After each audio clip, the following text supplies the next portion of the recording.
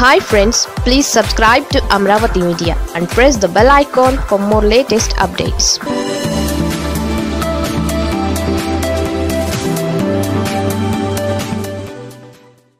విశ్వరూపం చూపిస్తానన్న కొడాలి ఉలుకు పలుకు లేదేం. ఆయన మీడియా ముందుకు వస్తే చాలు చూసే టీవీలు దద్దరిల్లేలా బిగ్ సౌండ్ చేస్తారు. ఆయన మాటల ప్రవాహానికి అవతల వారు తట్టుకోలేరంతే. ఆయనే గుడివాడకు చెందిన మాజీ మంత్రి కొడాలి నాని. ఆయన గత పది రోజులుగా ఫుల్ సైలెంట్గా ఉంటున్నారు. మౌనమే నా భాష అని కూడా చెప్పేస్తున్నారు.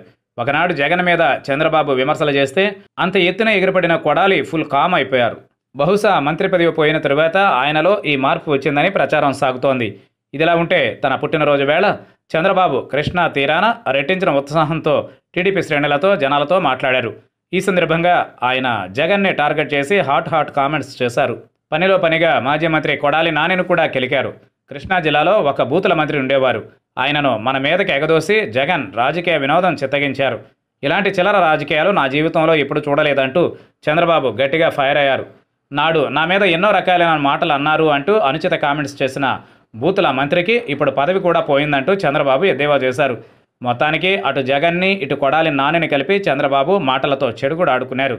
ఇంత జరిగినా కూడా కొడాలి నుంచి నో కామెంట్. నిజంగా ఆశ్చర్యమే అంటున్నారు అంతా. మేము జగన్ గ్యారేజీ మనుషులం. మాకు మంత్రి పదవులతో సంబంధం లేదు. మేము జగన్ ఏం చెబితే అది చేస్తామని చెప్పిన కొడాలి నాని చంద్రబాబు జగన్ని తనను కలిపి హాట్ కామెంట్స్ చేసినా రియాక్ట్ అవ్వలేదు అంటేనే వైసీపీ శ్రేణులు ఆశ్చర్యపోతున్నాయి. నిజంగా నాని ఎందుకు రియాక్ట్ కాలేదు? అన్న చర్చ సాగుతోంది.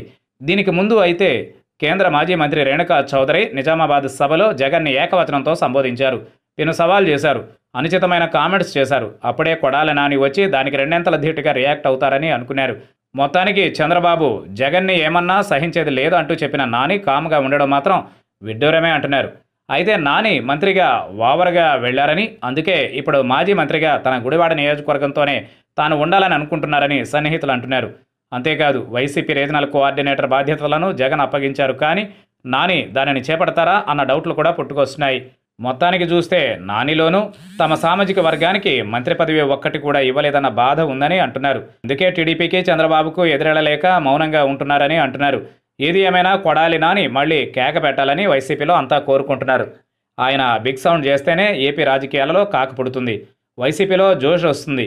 ఇది మెజారిటీ కేడర్ అంగీకరించే విషయం. కొడాలి నాని సైలెంట్ అయితే వైసీపీ టోటల్గా డల్ అయినట్లుగా ఉందని కూడా అంటున్నారు. మరి తొందరలో నాని రీఛార్జ్ అయి చంద్రబాబు మీద దూకుడు చేస్తారని అంతా ఆశిస్తున్నారు. అది జరిగేనా? అంటే వెయిట్ అండ్ సీ